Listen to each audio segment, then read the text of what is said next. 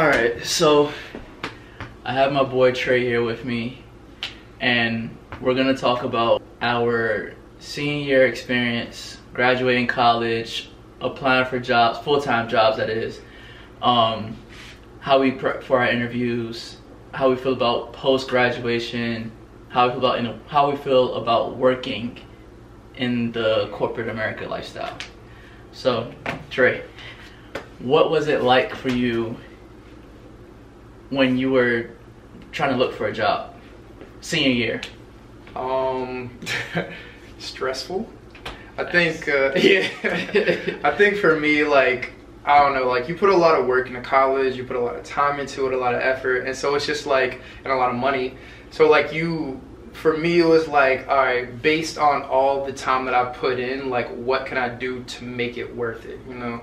So like there was like a certain uh, like a certain amount of pay that I would not go under, like certain circumstances that I just like would not uh, like accept because for me it was like all right, like I put in all this time, I put in my four to five years, like I put in all this money, like I have to get a certain thing out of it, you know. Right, right. So I think for me it was just like I don't know, like I, I I was picky. So like I probably interviewed a little bit less than I should have because I wanted to make sure that I got like I wanted to make sure like you know you get a lot of like random emails, I mean, Right, messages right. on like LinkedIn or something, Right, like exactly. hey, like come through, and you're like, Yeah, like you deserve better. Like you deserve what yeah, you want. so. exactly. So like I was definitely like a lot pickier in that in that realm. So That's. I mean, I understand that because I did six years, and that's just because I transferred. I changed majors first in my first school. mm-hmm. Then I transferred, which once you transfer, not all the time, you're not always lucky where all your credits transfer. right, yeah. And then I added on a minor, so that's basic. That basically just extended my timeline in school, which is the normal, maybe three and a half to four and a half years. Mm-hmm. But um, I mean, my experience would be, like you said, you're picky. I I was picky too. I I I had to go for the the best, at least Mhm. at least a certain amount of money. I, I wasn't going to go below a certain amount because I know from from even just just because of my background where I have people that work for big companies or just get big salaries in general. I'm like, okay, wow, I need to get on that level or better. Yeah. so absolutely. it's it's honestly just if you're motivated, that's that's that's the top thing that's gonna help you when you're trying to find a job. But I totally understand because trying to balance classes, trying to apply for jobs at the same time, trying to go to your part-time job, Mhm. also trying to pass class, um, pass your exams, or if you if you're doing um, hobbies or whatever, like going to the gym Mhm. or going to another thing you're trying to get yourself into, like clothes now, or whatever. yeah, like clothing any of that lines or anything like that. So, what companies did you interview for? Uh, Well, interview with, sorry. there was a couple. So because of my internship with Geico, I had a lot of like insurance companies that I interviewed for, like Geico and stuff like that. Also, like a couple like scammy. I don't want to like say a specific name, but like bigger but like scammier uh, life insurance companies hit me up. So like I, I played with them a little bit just to see. And, you know, they're like, oh, if you get this many sales and this many people, you can make this much money. And like, you know, if you're dumb, then that, Right. that shit sounds Right. great. Yeah, but yeah. for me, I was like, ah. that doesn't sound right. yeah, right. I'm like, that's, I don't think so. Um, so I'd say, I don't know, like most of them were insurance firms. Um, I'd say like the biggest one was probably Cisco. Cisco. Um, and then of course this one too. Uh, but yeah, like I was I was really picky and I wanted to stick to something I knew or was interested in. So like even with Geico, like I, I bounced I, I worked off of that and applied to like a lot of either insurance or like sales positions. Mhm. Um, like there was this position for a window company up in DC um, that I was interested in, and it was a company that I had been working with at the time. Um, so it was just you know not a lot. Like I, I didn't like bounce around too much, and I think this is something that I try to tell people all the time because like I think the Cisco thing opened my eyes. Like I try to tell people like for me. I I thought like oh like I'm never gonna be with a big company. Like I'm never gonna be with Google or something like that. Like I'm just coming out of this random school. I'm a random Yeah. dude. Like what what can I get type of thing. Like I had high standards, but I didn't have like Google standards or something like that. Yeah. You know, so or Cisco standards for that matter. Um, so like once I went through the Cisco process and didn't get it the first time, they called me back like, yo, like we want you to come back, come through, blah blah blah. That's when I was like, oh, like maybe I can do this. So for me, like I, I just always recommend to people, you know, like whether you think you're capable of reaching that level or not, like at least try, Try, jump in, do something. Because I mean, like they want all these different people. Like if you are capable, if you're confident enough to think that like you're a good employee or person or whatever, like at least try. know. Exactly. Do I, you can. I get that. And how was your how was your intern? You you interned at Geico, right? Yeah. How was your internship there? Um, it was interesting. it was not bad. Like it was not bad at all. Right. It was super fun. Um, but the work wasn't. I don't want to say the work wasn't for me. I think it was honestly more of the environment. hmm And I felt like the work was very simple. It, it would have been a management role that I was going into if I had taken the opportunity. But I think that um, for me, it just like the the work seemed. Uh, I don't. It seemed boring, honestly. Like I'm gonna just be transparent. It just seemed very boring. Like Right. it didn't seem super engaging. Like I didn't think that I was gonna learn a lot. Like where I am now, like every day is a test, and it's like, all right, can you step up to the plate? Right, you know. right. And so just there, like I just felt like if I went there, I was just gonna go downhill. You know, like like like I mentally i was gonna be like i can't do this. Like i'm just gonna be drained because it's just not what i'm interested in not what i love. Um, the environment i wasn't a big fan of either because it's just it's not necessarily a bad place but sometimes the place just isn't for you you know? Yeah. so like that's I, that, that kind of turned me off a little bit just certain interactions. I love the people there. I loved all the friends i made. You know i enjoyed it overall. Like i don't have anything necessarily bad to say just that it's not for me personally Yeah. um, so like it's it's not one of those things where like I get on camera like don't work there. It's one of those things where it's like no, like you might love it. It just like didn't really vibe with how I do things. So Yeah, I mean everybody has their own their own way. So Mhm. I mean, now I had two internships. One was with Sentara Healthcare, and I was a I was basically in the cybersecurity department. right, yeah. I mean, it's it's very in depth. It's also a moneymaker.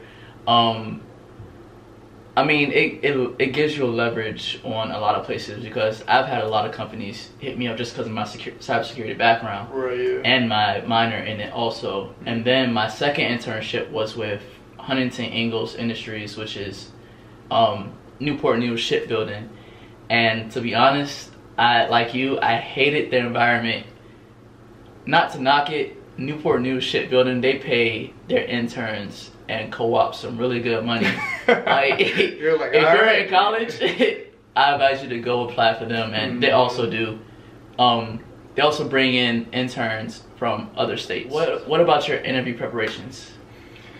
Um. So, I mean, it seems small, but for me, like, the way that you look is really important. Like when I like, so for me, if I'm going into an interview, like I'm looking my best. Like you know, like simple as that. up. Yeah. Like Yeah. I'm, I'm I'm going in flexing. You know. but if I go in and the person I'm interviewing with does not like reciprocate that, like they're like their their shirt isn't fully tucked in and like their jacket's too big and baggy or dirty or something like that's what turned off for me. I'm like, all right, like this is how they allow you to carry yourself, and like I don't, you know, Right, right. So like that definitely affects my perception. So like it seems small, but for me, like the way that you carry yourself, like body language wise, and also the clothes you wear, etc cetera, et cetera, all of that stuff matters a lot. So.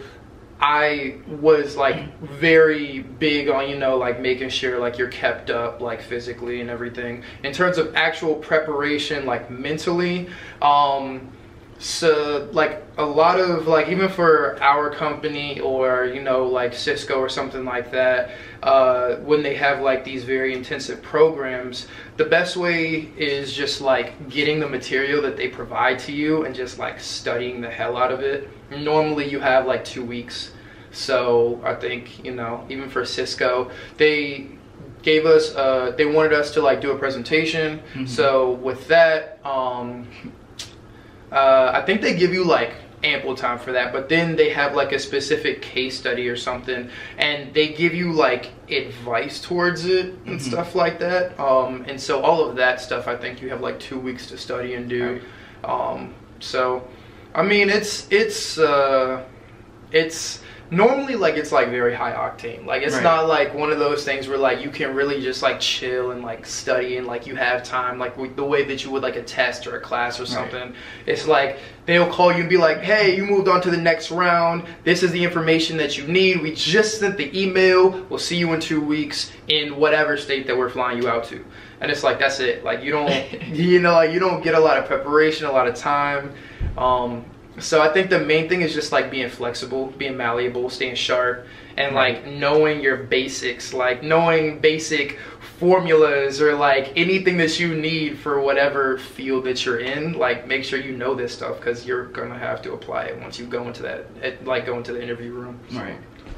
For mine, like it was pretty different because, all right. So I'm gonna give you right now who I interviewed for. I interviewed for Cisco twice. Once was an internship back in 2015, I believe, or 14, and then one was for also what you went for. Hmm. I didn't make it as far as you, Mhm. but um, second one was Microsoft. I interviewed with them three times. Uh, I interviewed with Facebook. I interviewed with Google. Dude. I interviewed See, with. all these big companies. I interviewed with Dell, SAP. Mm, um, Capgemini. Oh yeah, Capgemini, um, Ernst and Young, which is EY as people know it. Um, who else did I interview for? I interviewed for a smaller company called Appian. Um, interviewed with. I can't really remember all the smaller companies, but those are like the basically the bigger companies I interviewed with. Mhm. And for mine was really just my number one thing is always to go on LinkedIn and try and find somebody who works in that position or within the company who can like refer you to somebody who works in that position you're interviewing for. Let's say you're interviewing for a program manager role. Reach out to somebody on face um, on LinkedIn. If they're a program manager, you type in program manager Facebook or whatever company and basically they pop up you connect with them and you just basically ask them how they got into the company what what tips and preparation ideas do they have for you to get in the company? My second thing is to go to my my network around me. People I can Mhm. who I can text right then and there. I'll reach out to everybody just to try and prepare for my interviews. Also I also Google interview tips and stuff. Reddit Yeah, yeah. is a big thing. He Oh, got me on Reddit. So. Reddit is a big thing. Mhm. um, even just uh, um, sites like Jumpstart, you can get up there and create a forum and ask people have they interviewed with these companies before, how did they prepare, and then from there it's just honestly a lot of companies it, it could be finesse. If you can talk, if you can market your way around questions, you're you're pretty much set to go. yeah. Like if you can market yourself, then you're good. Yeah, that's half the battle for real, and then Yeah. like also the case study, like Exactly. like there's like there's two halves. Like if you're personable and likable, like you're you're already winning, and then like if you can just do whatever like simple task they ask you to do, because normally it's not anything that's super crazy. You're never gonna be fully prepared for whatever you're going to right after college. Simple as that. Um, but as long as you're like you have like the base like knowledge, you're you're good. They're not gonna give you anything that's Right. all that complex. Right. And so, for the, as like he said, the case study. My first case study was with Capgemini. I interviewed with them twice. Matter of fact, the second company I interviewed for, which is Company X, I already told you guys. I'm not gonna name the company. No issues. Um, I happened to do good on the case interview. I guess I'm I'm with I'm with them, so I guess I did something right. Yeah, right. So, um, and the case study is is pretty.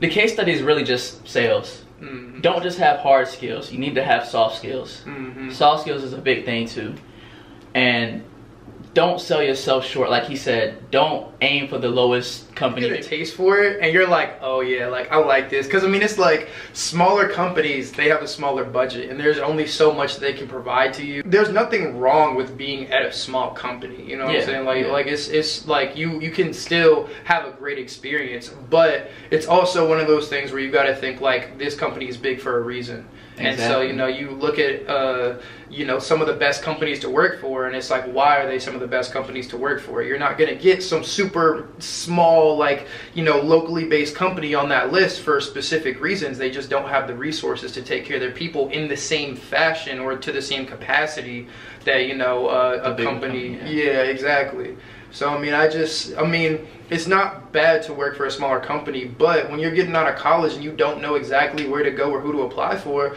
apply to those facebooks and googles and you know Exactly. apples and stuff like it cannot Just hurt do it. at all Just do it. yeah like the worst they can say is no and then like you're still applying to other places like that's just how it always works you know what Yup. i'm saying Definitely go to conferences too. Mm. NSBE, Mhm. that was a big one. I had three interviews there alone and got one I got one offer from there.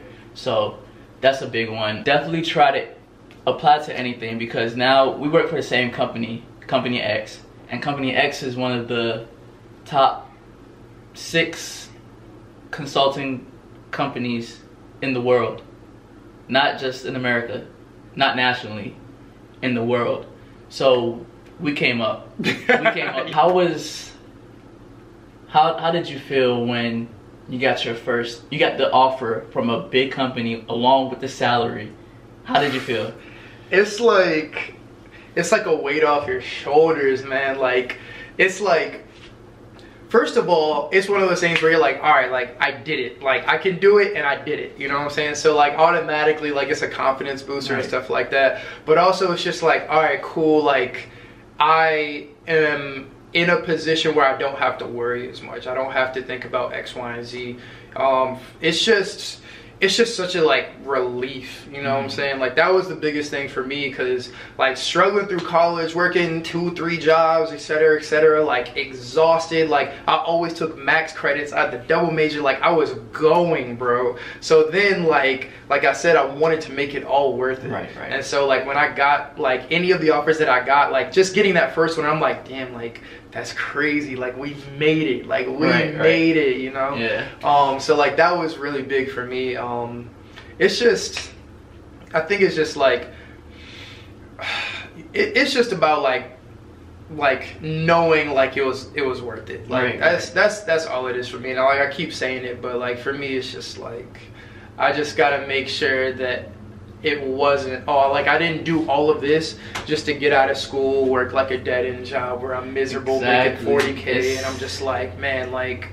40k loan that matches your school loans. Yeah, right, exactly. Like when my like my loans are 33 and it's like if I'm making 40k like that's just not getting paid off no time soon. Like Right. dog. You did, you like did good because I'm at 46. like Whew. honestly, I can't imagine. and I mean with mine, my my offers. I got my first offer was in Colorado. In Denver. I don't even like the cold weather, so I was just happy. I, the thing is, I was like, fuck it. I got my first offer. I was like, man, it's a good company. Mhm. Like, all right, I'm gonna have to do this. I'm gonna have to do this. They have other offices, different places. I'm I'm gonna try and stay there and then relocate. Mhm. But then the salary was like, uh, Yeah. I'm not gonna do better than this. Mhm. It wasn't bad, but I can do better than this.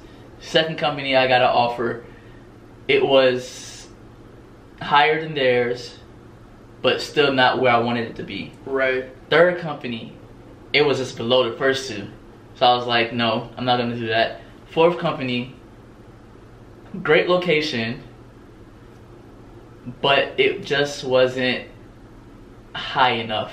That's just that's not me being cocky or whatever, Mhm. or the right word to use. I don't know what, what's the word to use for it, but it's just more of I know what I deserve. Yeah, like you know your worth. Yeah. And that's that's an important part too. Like exactly. I I think that like at the end of the day, like you put all this time and effort into school, all this money, you did so much. Like you know what you're worth. Like at the end of the day, like if you graduate and your mentality was C's get degrees, I'm gonna be all right. Then it's like you're obviously not yeah. the type of person that's trying to work for Facebooks and Googles and stuff. And you could still get there. Like I'm not saying it's impossible. I'm just saying like the mentality, like the way that you move on a daily basis has to reflect how you want to be, where you want to be in the future. Exactly. So I mean, it's like if you if you are one of those people that is okay with a subpar, con, like get, like being in a subpar condition or like working at a subpar level, then like more than likely you will receive a sub subpar job. Like you, that's just that's right. just how it's gonna go. Right.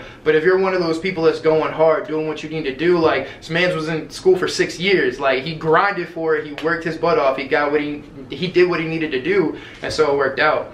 So I mean, it's like uh, and, and and again, like grades aren't everything, you know. Like when I was in school, I did a lot of club stuff. Like I didn't have a 4.0, yep. but like I yeah. just I did a lot of club yeah. stuff. Like I I uh, helped start an, uh, organization at my school, and like we created a scholarship, stuff like that. Like be active, like just just show that like you are performing at a certain level and you know companies will see that. And then when you come in and you're like this is what i've done and like they see you firsthand and they're like oh like this is who i'm dealing with like it, it speaks for itself you know? So I mean, I think that like it's not about being cocky, but it's like if you work your butt off and like you were an A student, then like and and like not just an A student in terms of grades, but just in terms of performance in college in general, like everything that you did, and you just went hard with it, then it's like that, then you should have a certain expectation. Nobody goes to Harvard, gets straight A's, and then is okay with making $40,000 right. a year. Like, that's right. not what they worked for. That's not what they did this for, you know? So, I mean, I think that that's important. It's not about being cocky. And so when you are in when you're when you're in the job market like know your worth. Like don't settle. Like i my first job offer since like that's going back to what we were actually talking about right. my first job offer from geico it was only 42k wow. Yeah and i was like well it's a guaranteed job with a great company but like how long will it take you to get where you want to be? Yeah exactly. So i mean for me i'm just like all right like it's cool but like 42 like that's not that that's not what i feel i'm worth. So for me it's like that's great for other people that's fine and i'm not putting anybody down but like i know eh, the the blood sweat and tears that i put into this school is not 42k right. You know right. like simple as that. Right. So like i just i nah. A big thing another big thing too that i forgot to mention networking. Networking can get you into places where you honestly would not think you'd be able to get to. Along with the networking with the workforce, I have family who's in the workforce, I have friends who's in the workforce, and I can basically get information that I need that I can't get on my own mm-hmm. from them, from their help. Mind you, we both came, we went to the same school, went to, we had two or three classes together, and I all like he basically knows that I I like helping people. My biggest thing is there's a lot of money to be made in this country. Don't be stingy. Don't try and hide the ways of making money. Help others because once you once for me is once I come up, you come up. If I can help you, I'm going to help you. Mm-hmm. So but from there let's let's move on to how is it being in corporate America?